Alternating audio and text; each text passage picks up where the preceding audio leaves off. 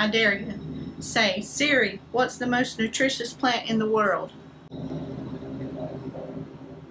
Let me check that. Here's what I found on the web for what's the most nutritious plant in the world.